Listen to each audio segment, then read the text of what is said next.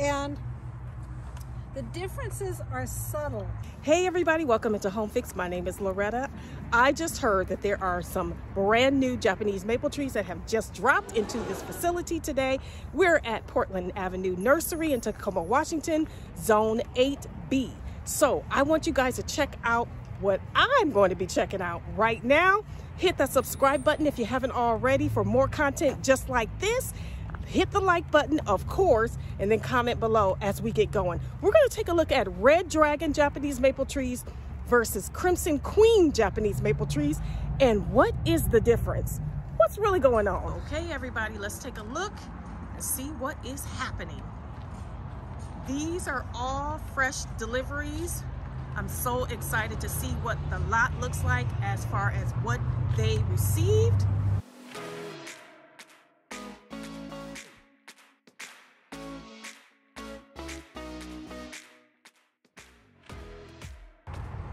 Now these are beautiful conifers. Look at the look at the color vibrancy.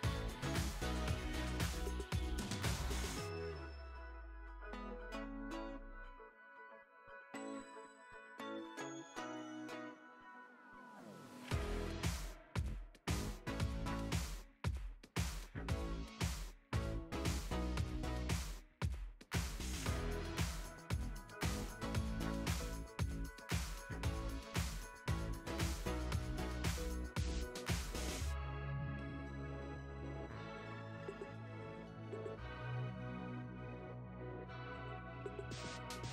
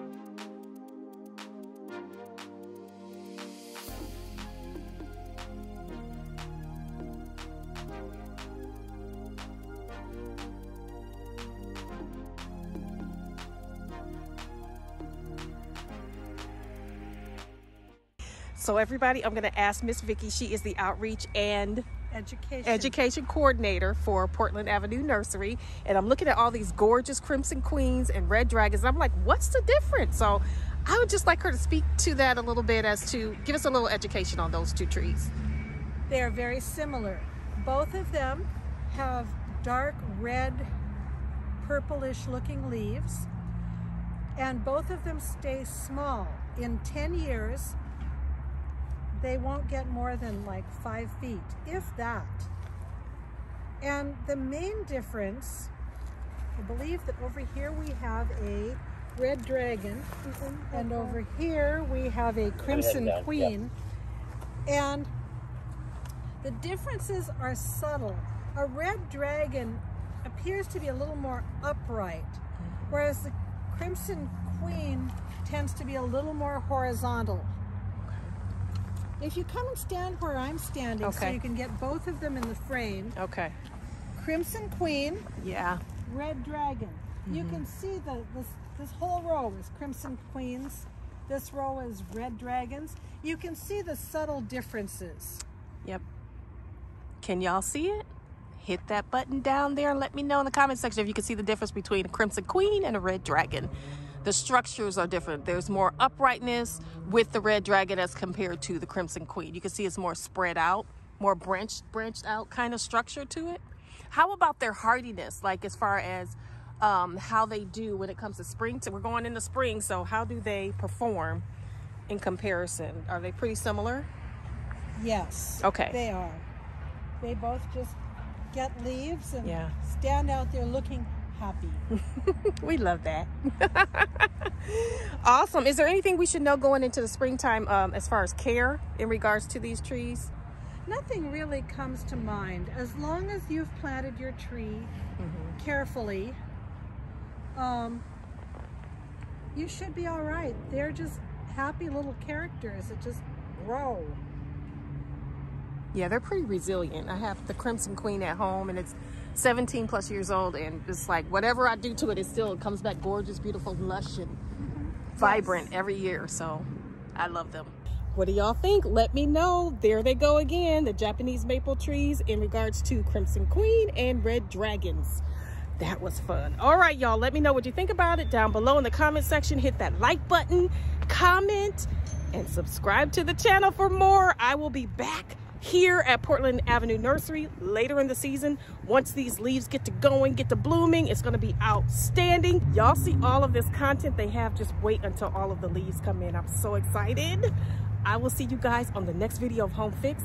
Check out some of the other videos in the playlist for Japanese maple trees down below. Bye y'all.